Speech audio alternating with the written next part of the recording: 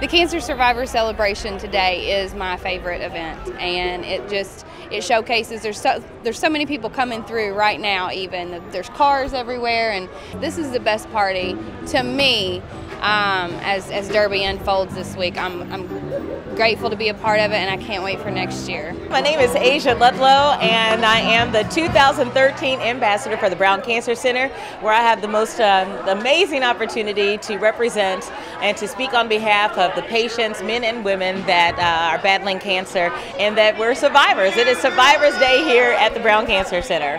Heather Renee French Henry is just, uh, she's an amazing woman. And this year, she has graced me once again with the most beautiful gown. It's so beautiful, and I'm so grateful. To see all these wonderful people here who have survived such devastation. I know the big C, that cancer word, is so hard to take.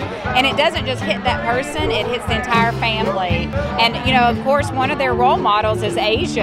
I mean, Asia Ludlow, what a wonderful, wonderful role model. And she's drop dead gorgeous. And this year I got a chance to uh, design a gown for her that she'll be showcasing today.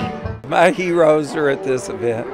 And uh, it's the people who've uh, looked cancer straight in the eye and had to deal with the worst words you can hear, and that is you've got cancer.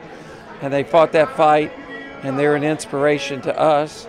And because of them, uh, we do what we do, and that is uh, we're uh, fighting cancer every day and trying to find answers to cancer. So this is the most special event of all of Derby. It's a fight and we don't stop. And we don't stop. We keep going. We never give up. We keep trying. We keep believing. And we just let God do the rest.